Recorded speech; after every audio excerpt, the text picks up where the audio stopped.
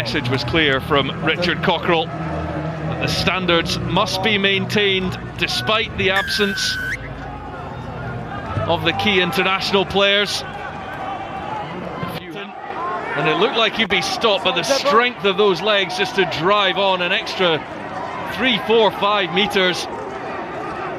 Pyrgos now with the flat ball to Schoeman. And it's quicker ball this for Edinburgh. Hickey, Dean steps out of the first tackle and on to Darcy Graham.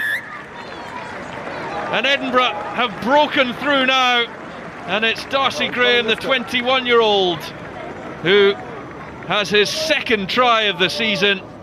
He's an exciting prospect and he gets over the whitewash. Hamilton. Well, the ball was out. Schoeman was allowed to venture forward, but there is going to be a try, and it's going to be for David Sisi. And what a start to the second half for Zebre. It really came out of nowhere. He even looked surprised that he was able to waltz through.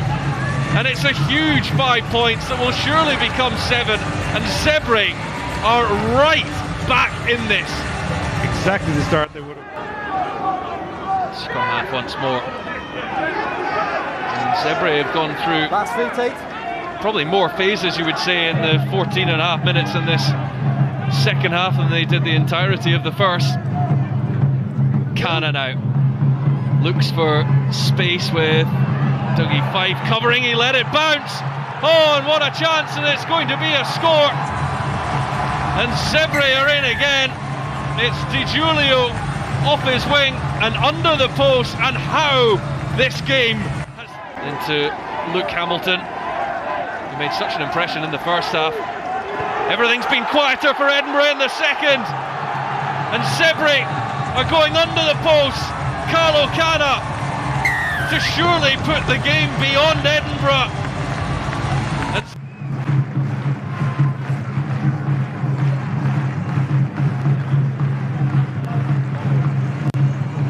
And up goes the number eight. Well taken.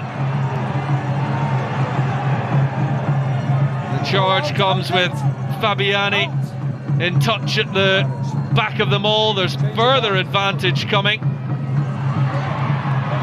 And the captain is in! Tommaso Castello scores try number four. And this is a famous victory for Zebre. They are delighted. Maybe one, they might have got yeah, a penalty, that was one, it, but it, it, as good as none. One penalty and if they can knock this one over, well, the cheer goes up. That is absolutely brilliant from Zebre. And what a way to finish the game.